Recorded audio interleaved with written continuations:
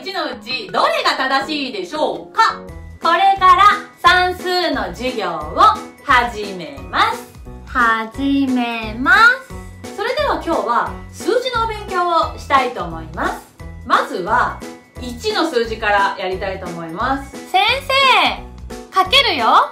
でも大事なポイントがたくさんあるからよーく聞いててねまず間違いやすい1の書き方があるから今日はねそれをみんなでクイズをしていきたいと思います。それでは1つ目。さあこの12つ目。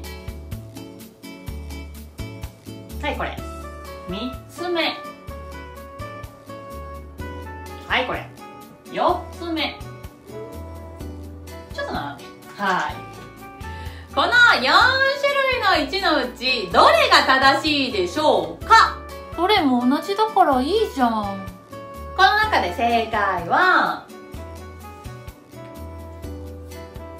これです！あった人！あすごいすごいすごいすごい。実はねこれもこれもこれも全部×ですねこの書き方してたよって人は今日からこれに直してください。なんで？なんでかっていうと例えばこの1丁寧に書いてくれればいいんだけどたまにね雑に書く人がいます。これ雑に書くとこんな感じになって数字の7とね間違えてしまう可能性があるのでこの書き方は×ですなんでこれがダメかっていうとこれもねまたね雑に書く人がいると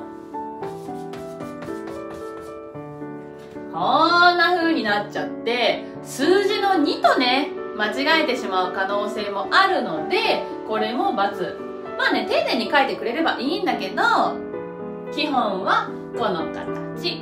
斜めにもしません。次にね間違いやすい数字として4があります。えなんで？簡単だよ。4はですねこれここが離れているのが正解です。